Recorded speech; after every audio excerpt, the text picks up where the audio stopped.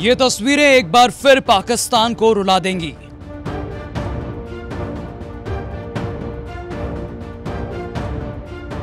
ये तस्वीरें पाकिस्तान की रूह को झकझोर देंगी।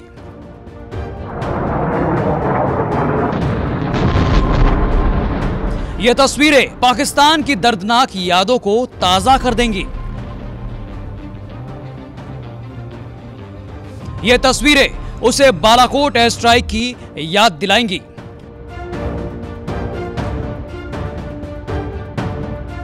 थार मरुस्थल में मिसाइल से दूर रखे टारगेट पर निशाना लगाने की ये तस्वीरें भारतीय वायुसेना के शौर्य की उस दास्ता को एक बार फिर ताज़ा करती हैं, जिसमें भारतीय वायुसेना के जवानों ने पाकिस्तान की सीमा में घुसकर आतंकी कैंपों पर निशाना लगा। 300 पाकिस्तान के पालतू आतंकियों को जहन्नुम का रास्ता दिखा दिया था।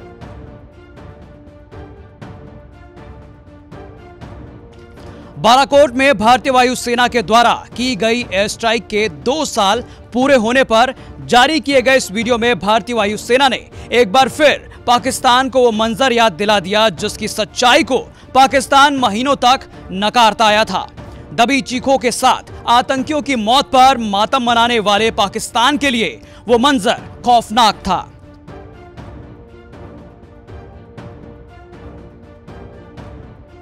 बालाकोट एयर स्ट्राइक के दो साल पूरे होने पर किए गए इस अभ्यास के दौरान भारतीय वायुसेना प्रमुख आर के एस भदौरिया भी मौजूद रहे।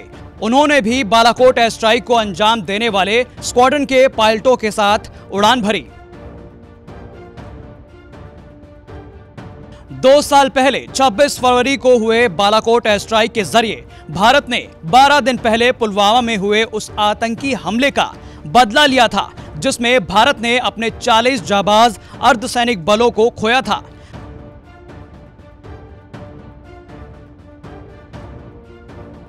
दरअसल 14 फरवरी 2019 को आतंकियों ने देश के सुरक्षा कर्मियों पर कायराना हमला किया था।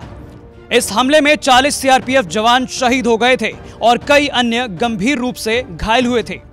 जम्मू कश्मीर राज्य के पुलवामा ज़िले में जैश ए मोहम्मद के एक आतंकवादी ने विस्फोटकों से लदे वाहन को सीआरपीएफ जवानों की बस से टक्कर मार दी थी।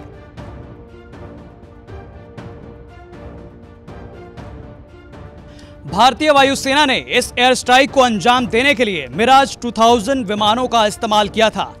उस विमान से भारतीय वायुसेना के जबाजों ने करीब 1000 किलोग्राम के बमों को आतंकी ठिकानों पर गिराया था, जिसमें करीब 300 जैश के आतंकी मारे गए थे। ब्यूरो रिपोर्ट भारत तक।